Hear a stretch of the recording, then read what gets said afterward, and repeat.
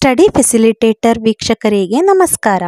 ಇವತ್ತಿನ ವಿಡಿಯೋದಲ್ಲಿ ಏಳನೇ ತರಗತಿಯ ವಿಜ್ಞಾನ ವಿಷಯದ ಭೌತ ಮತ್ತು ರಾಸಾಯನಿಕ ಬದಲಾವಣೆಗಳು ಈ ಅಧ್ಯಾಯದಲ್ಲಿ ಬರುವ ಕೆಲವು ಮುಖ್ಯ ಅಂಶಗಳನ್ನು ತಿಳಿದುಕೊಳ್ಳೋಣ. ಫಸ್ಟ್ ಪಾಯಿಂಟ್ ನಮ್ಮ ಸುತ್ತಮುತ್ತಲಿನ ಬದಲಾವಣೆಗಳಲ್ಲಿ ಎರಡು ವಿಧ. ಒಂದು, ಭೌತ ಬದಲಾವಣೆ.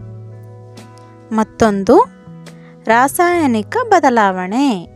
ನಮ್ಮ ಸುತ್ತಮುತ್ತಲಿನ ಬದಲಾವಣೆಗಳಲ್ಲಿ ಎರಡು ವಿಧ. ಒಂದು ಭೌತ ಬದಲಾವಣೆ, ಮತ್ತೊಂದು ರಾಸಾಯನಿಕ ಬದಲಾವಣೆ. ಒಂದು ಪದಾರ್ಥದ ಆಕಾರ, ಗಾತ್ರ, ಬಣ್ಣ ಮತ್ತು ಪದಾರ್ಥದ ಸ್ಥಿತಿ ಮುಂತಾದ ಭೌತಿಕ ಗುಣಗಳಲ್ಲಿ ಆಗುವ ಬದಲಾವಣೆಯನ್ನು ಭೌತ ಬದಲಾವಣೆ ಎನ್ನುವರು. ಆಕಾರ, ಗಾತ್ರ, ಬಣ್ಣ. ಸ್ಥಿತಿ.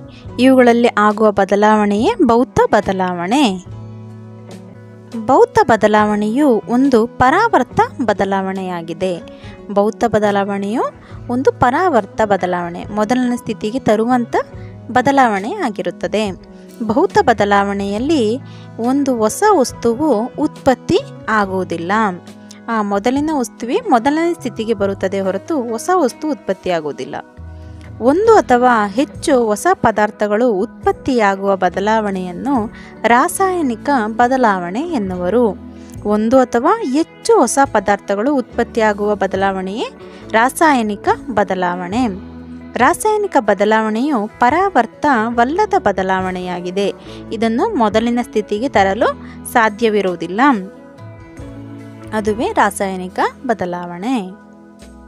ನೆಕ್ಸ್ಟ್ ಪಾಯಿಂಟ್ ಒಂದು ಕಬ್ಬಿಣದ ತುಂಡನ್ನು ವಾತಾವರಣಕ್ಕೆ ತೆರೆದಿಟ್ಟರೆ ಅದರ ಮೇಲೆ ಕಂದು ಬಣ್ಣದ ಪದಾರ್ಥದ ಒಂದು ಸೂಕ್ಷ್ಮ ಪದರ ಸಂಗ್ರಹವಾಗುತ್ತದೆ. ಈ ಪದಾರ್ಥವನ್ನು ತುಕ್ಕು ಎನ್ನುವರು. ಈ ಪ್ರಕ್ರಿಯೆಯನ್ನು ತುಕ್ಕು ಹಿಡಿಯುವಿಕೆ ಎನ್ನುವರು. ಒಂದು ಕಬ್ಬಿಣ ತುಂಡನ್ನು ವಾತಾವರಣಕ್ಕೆ ತೆರೆದಿಟ್ಟಾಗ ಒಂದು ಕಂದು ಬಣ್ಣದ ಪದಾರ್ಥ ಸೂಕ್ಷ್ಮ ಪದರ ಆ ಕಬ್ಬಿಣದ ಮೇಲೆ ಸಂಗ್ರಹ ಆಗುತ್ತೆ. ಇದನ್ನು ತುಕ್ಕು ಎನ್ನುವರು. ಈ ಪ್ರಕ್ರಿಯೆಯನ್ನು ತುಕ್ಕು ಹಿಡಿಯುವಿಕೆ ಎನ್ನುವರು. ಕೆಲವು ರಾಸಾಯನಿಕ ಬದಲಾವಣೆಯ ಸಮೀಕರಣಗಳನ್ನು ನೋಡೋಣ. ಮೆಗ್ನೀಷಿಯಂ, ಆಕ್ಸಿಜನ್ ಎರಡು ಸೇರಿದಾಗ ಮೆಗ್ನೀಷಿಯಂ ಆಕ್ಸೈಡ್ ಉಂಟಾಗುತ್ತದೆ.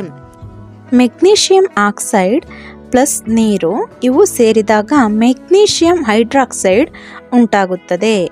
Magnesium oxide M G O H two O ನೀರು ಇವು ಸೇರಿದಾಗ M G O H two magnesium hydroxide ಉಂಟಾಗುತ್ತದೆ.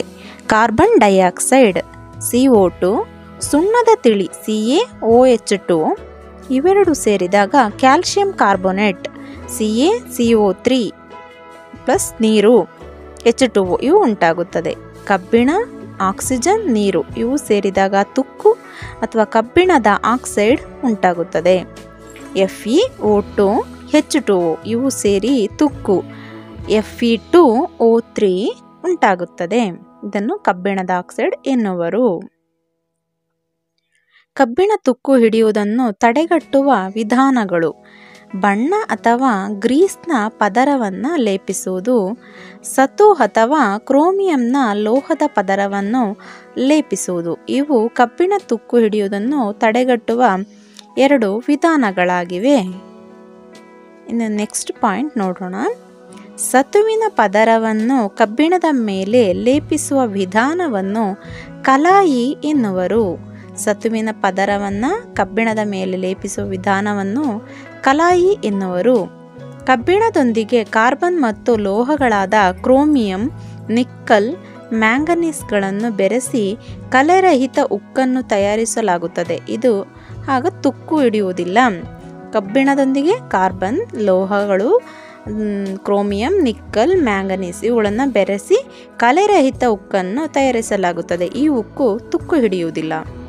ಶುದ್ಧ ಪದಾರ್ಥಗಳ ದೊಡ್ಡ ಹರಳುಗಳನ್ನು ದ್ರಾವಣದಿಂದ ತಯಾರಿಸುವ ಕ್ರಿಯೆಯನ್ನು ಸ್ಫಟಕೀಕರಣ ಎನ್ನುವರು. ಶುದ್ಧ ಪದಾರ್ಥಗಳ ದೊಡ್ಡ ಹರಳುಗಳನ್ನು ದ್ರಾವಣದಿಂದ ತಯಾರಿಸುವ ಪ್ರಕ್ರಿಯೆಯನ್ನು ಸ್ಫಟಕೀಕರಣ ಎನ್ನುವರು. ಅಡುಗೆ ಸೋಡಾದ ರಾಸಾಯನಿಕ ಹೆಸರು ಸೋಡಿಯಂ ಹೈಡ್ರೋಜನ್ ಕಾರ್ಬೊನೇಟ್.